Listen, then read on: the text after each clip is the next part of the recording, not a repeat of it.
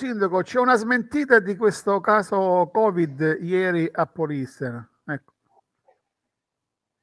No, c'è stata una falsa positività, almeno così la definiscono i tecnici, perché questa signora che è stata ricoverata il 14 maggio, al primo tampone, quello che solitamente eh, viene fatto prima del ricovero, è risultata negativa, quindi è stata eh, accolta nella struttura, poi è stata operata.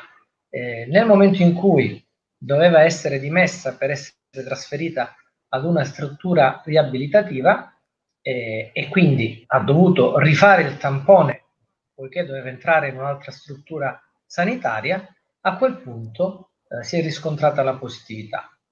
E, e, e, un fatto che era strano, ovviamente.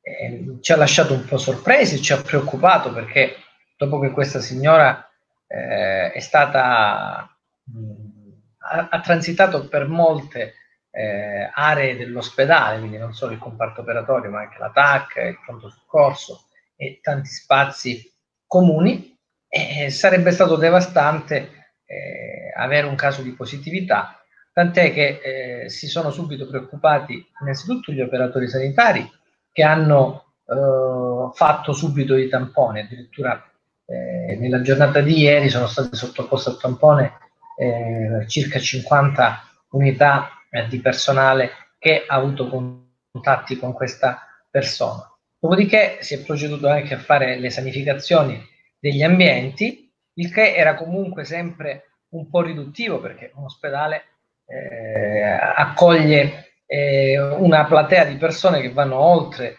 i singoli diciamo, operatori, ci sono utenti, ci sono altri eh, pazienti ricoverati.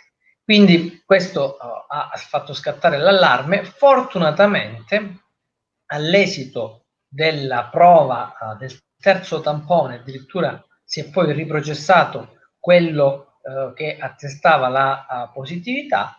Eh, fortunatamente eh, i tamponi sono stati tutti negativi. Eh, addirittura anche al GOM, dove poi la signora è stata trasferita, hanno praticato un nuovo tampone, quindi stiamo parlando di un tampone aggiuntivo che è stato fatto oggi e il cui esito è stato anche negativo. Quindi possiamo stare tranquilli che effettivamente si è trattato di un errore a questo punto. Diciamo ecco, lei, lei, in una nota, lei in una nota dice l'ASP chiede scusa alla signora. Ecco. Eh, è il minimo, mi pare, no? Perché è stata trasferita la signora da Polistena a Reggio eh, nel reparto di malattie infettive eh, senza avere il Covid. Mi sembra, indipendentemente dall'età, una signora anziana, ma a qualunque età eh, bisogna avere grande eh, rispetto. Certo, eh, non è stato un errore voluto, questo è pure da sottolineare, però ritengo che vadano da parte di tutti fatte le scuse alla signora e speriamo che tra l'altro io so che è in buona salute, speriamo si riprenda presto dalla frattura che era il suo problema eh, principale e poi l'unico, si è rivelato l'unico.